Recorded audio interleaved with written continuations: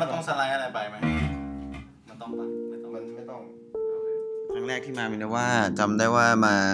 อัดทีเดียวห้าเพลงเลย แล้วก่อนหน้านั้นเราก็ไม่ได้รู้เรื่องการอัดเพลงเท่าไหร่ ก่อนหน้านั้นก็ไม่ได้อัดมาเยอะมากอะไรเงี้ย เพราะว่าเราไม่ต้องใช้ท่อนก่อนหน้านี้ใช่ปะก็จะได้คือถ้ามันแต่ว่าก็จะได้เล่นบ้าง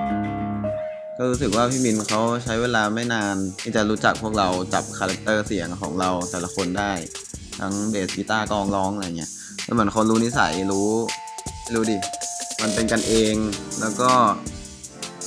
เหมือนเหมือนเหมือนมันเป็นงานของเขาด้วย ที่แบบว่าเขาใส่ใจมัน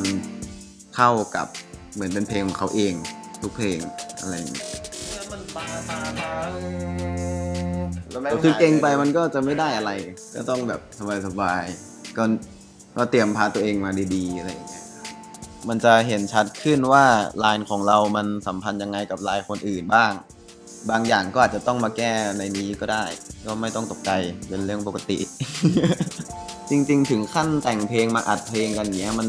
มีความเข้าใจดนตรีประมาณหนึ่งอยู่แล้วแหละ แต่ในในมุมมอง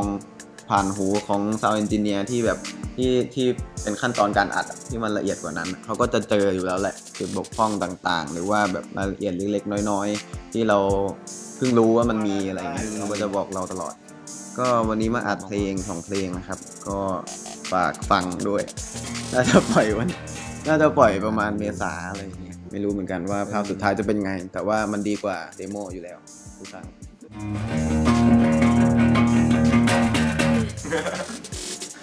คิดคิดค่ะ